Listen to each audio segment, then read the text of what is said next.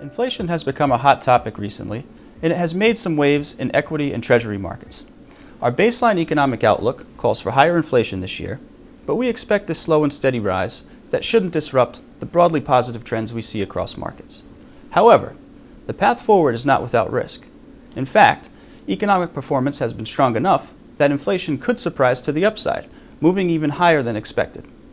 Underlying fundamentals, like a tightening labor market, high consumer and business optimism, and an economy set to grow above trend could all put greater upward pressure on prices.